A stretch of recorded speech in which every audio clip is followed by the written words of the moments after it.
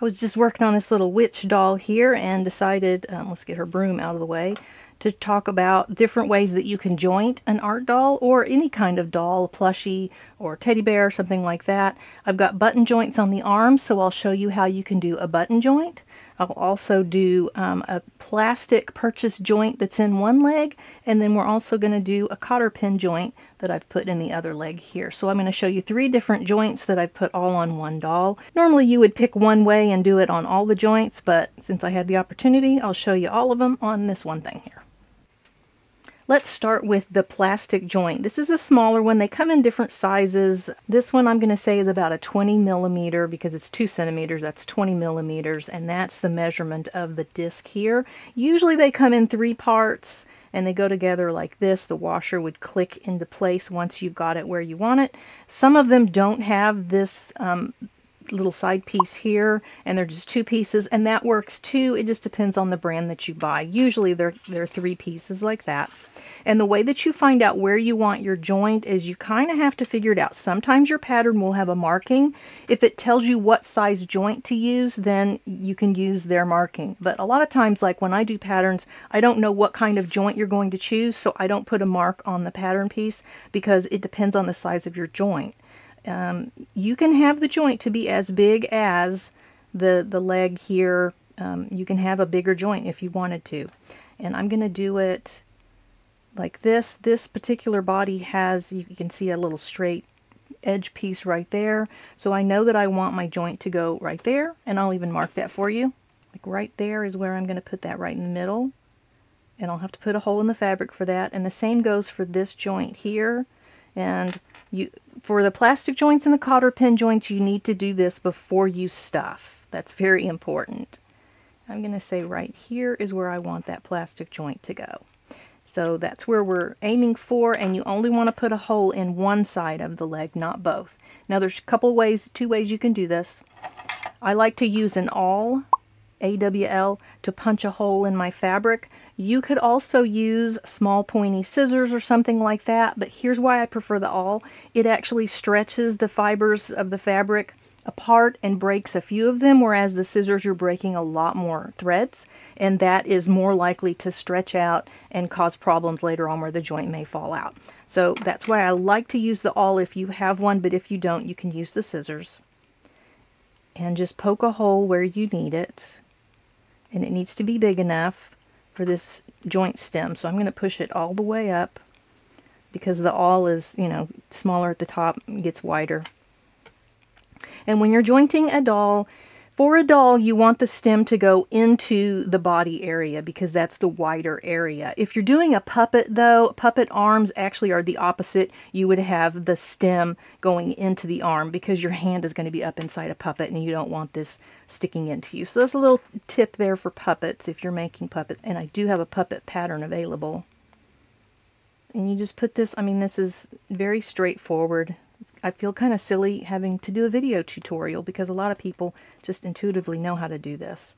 But the tip about using the awl is an important one. Now for this one, there's no hole in the seam here. Sometimes you'll have a little seam opening, but in this one there's not. So I'm going to choose either the front or the back of the seam. It doesn't really matter. And instead of poking into my finger, which could hurt, I'm always going to go up from the inside and then just poke another hole. Again, big enough for that stem to fit through.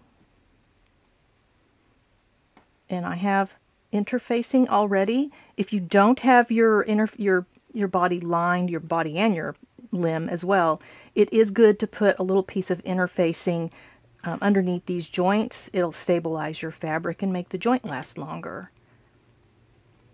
And make sure that that's big enough. So I've got a stretch fabric here, but it really doesn't matter. And then push that through. And now you want to make sure that you don't have any wrinkles or anything because that will get caught and stuck.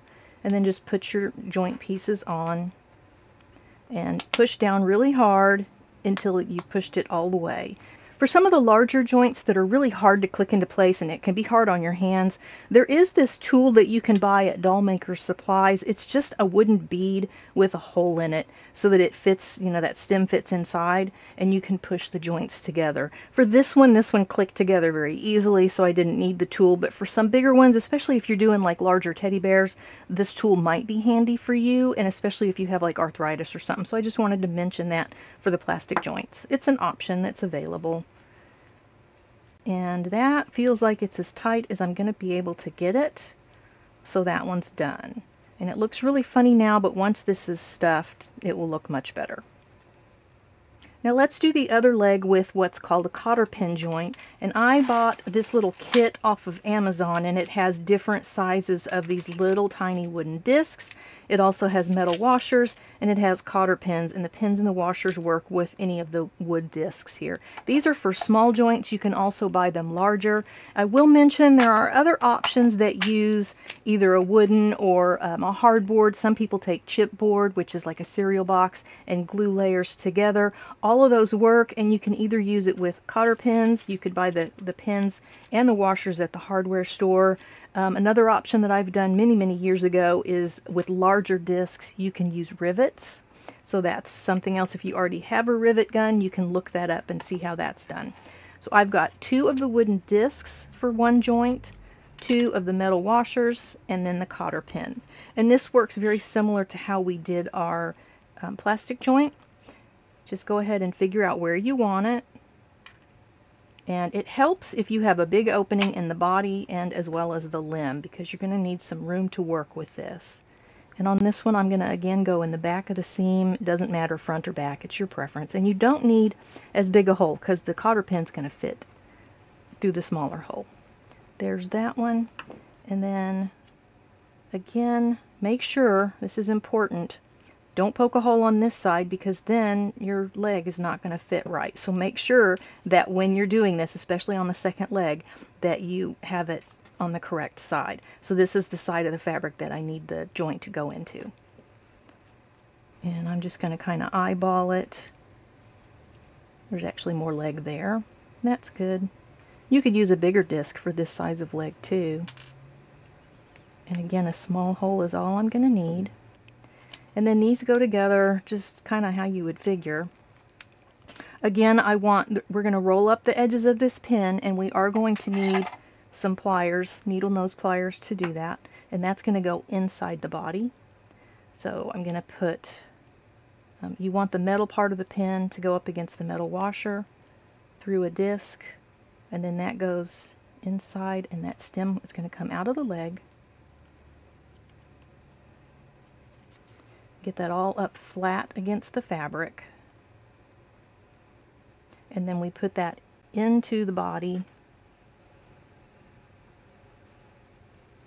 And now you need to make sure you have good access over here. And that's why a larger hole in the body opening is very helpful.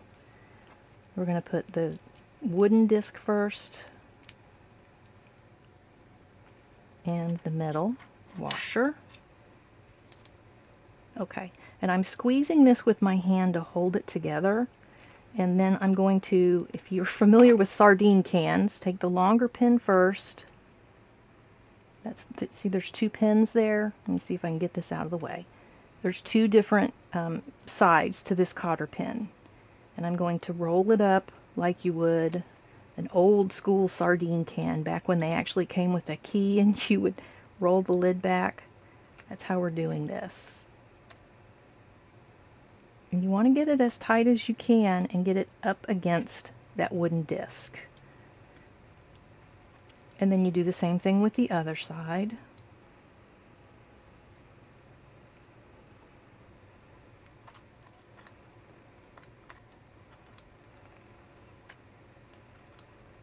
And these joints are not going to be as tight as the plastic joints or the button joint that I'm going to show next. Usually your cotter pin joints are going to be looser. Okay, and that one's done. Yeah, the plastic one is much tighter than the cotter pin, but that's okay because that's part of the style of that. And once we stuff it it will fill out and it will be um, a little stiffer. So I've done one leg with the plastic joint, show you on the inside. One leg has a plastic joint in there, one leg has the cotter pin joint in there, and then we're going to do a button joint to attach both arms. I'm going to show a button joint for the arms and with the button joint when it's on the outside of the armor leg you do it in pairs. So I'm going to use some pins here, any kind of sewing pin and I'm just going to see where I want to position my arms and then take my fabric marking pin to separate that and then just put a little mark where I want my joint to be. I'm going to do that on both arms and the body and that may not show up very well on camera but as long as you can see where you're putting that mark, that's all you need. And for the arm, you just want to get it so that the top of your arm is even with the shoulder. And when you're button jointing, you're going to be pressing that in. So that's how that's going to work. And then again, put a mark.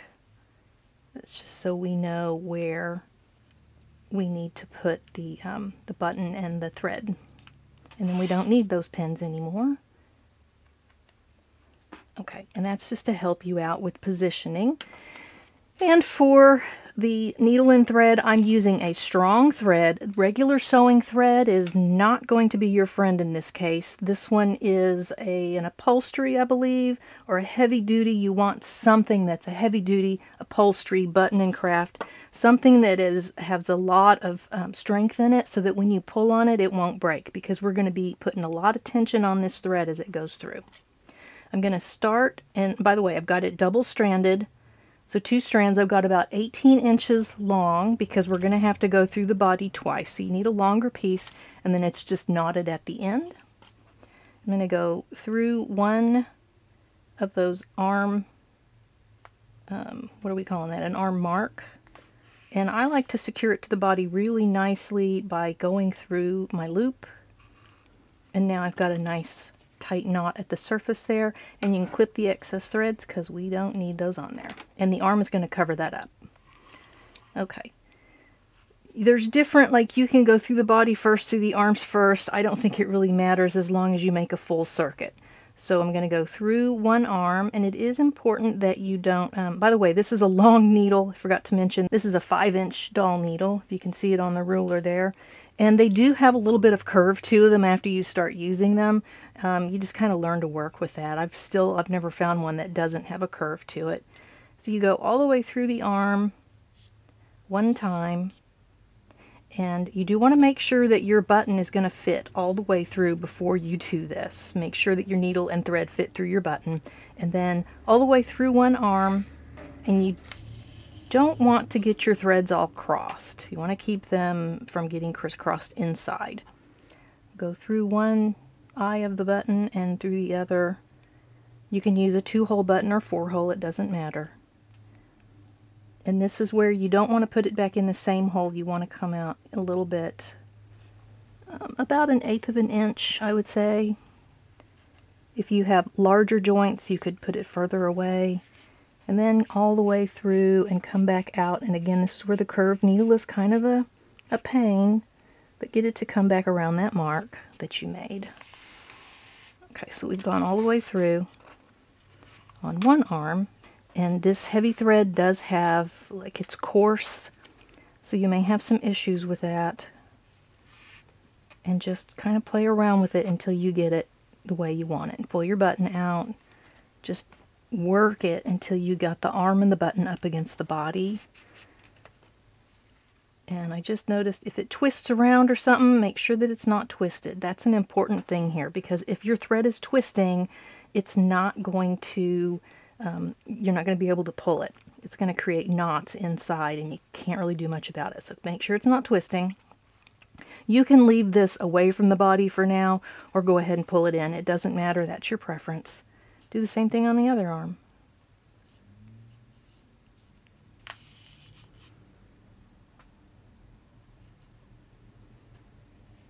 Yep. Don't forget the button.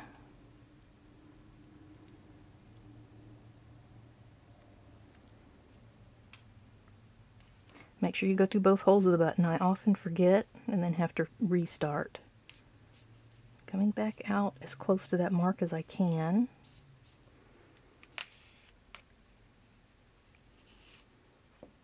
I like upholstery thread for this because upholstery thread is made of nylon and it's more slippery. This is actually a heavy duty um, polyester, so it's more grippy, has more friction to it, but it works too. And I'm using the red thread so that you can see what I'm doing. Normally, you would match your thread to your button or your fabric or whatever. I'm just using a contrast so you can really see what's going on here.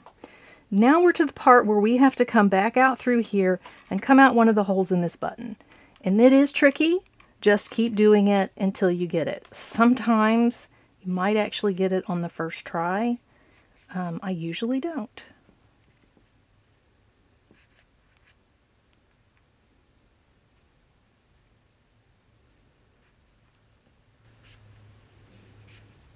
That wasn't too bad that time. And now we really need to tighten things up.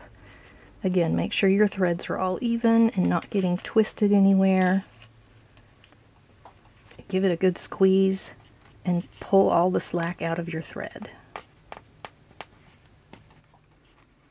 And you'll see when you're doing the button joint, you need to make sure that your limbs and the torso are stuffed very firmly because it's really going to put a squeeze on it. When I did the legs, I did a plastic joint here and a cotter pin joint, and you can see how wide the hips are. If I had done a button joint there, it would really pull those hips in and give it a much more humanish figure. This is a really, you know, very hippy doll, but I'm making a witch doll with this one, or you can do a gremlin or a fairy, and it, the hippiness doesn't bother me for those. So I kind of like it more of the froggy leg. But that's something to consider. A button joint does pull in tightly, so it's good to have it very well stuffed. And I'm going to go through one more time. You don't have to. You could actually finish. If you're using the strong thread, you could have it finished at this point, and it will hold.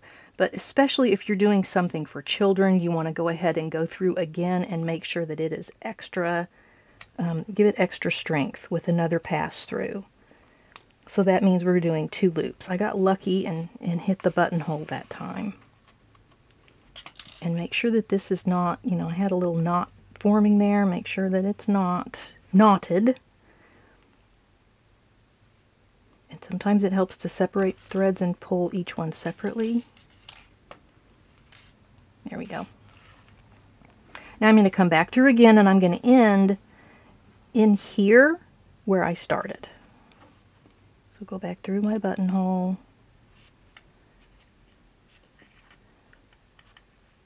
And come out just in that general area so that I can tie a knot.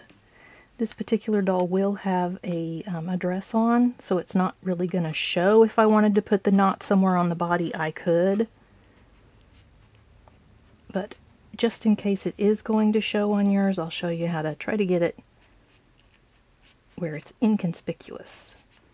And I should mention here that I do have a stick here to make sure that the head doesn't wobble around. That's why it's, it's given me a really hard time to get around that. And I see my needle right there. I just have to get it to come out and not snag my fabric. Okay, give it another tight pull. Make sure we didn't lose any of our tension. And now you can just get that arm out of the way and do a surface knot.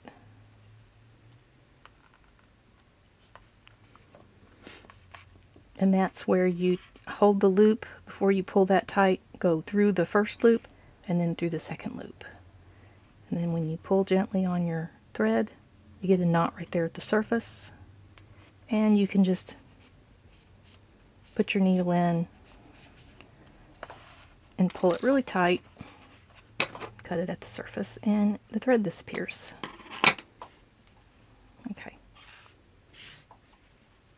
So that's the button joint. The buttons are visible. If you had four hole button, you would use each of the four holes instead of going through the two holes twice. That's um, your choice there, however you want to do that, but that's what a button joint will look like. You can use bigger buttons, you can use smaller buttons, and then the arms have enough friction that when you move them, they'll hold in place. You don't want to get them too twisted up, but that's how a button joint works. So there you go, three different ways to joint an art doll, a plushie, any kind of fabric doll. Three different joints using purchased plastic joints. You could get the hardwood and cotter pin joints. I'll link to those in the description, or you could use buttons like I showed with the arms. So do it however you want. They all have a similar outcome.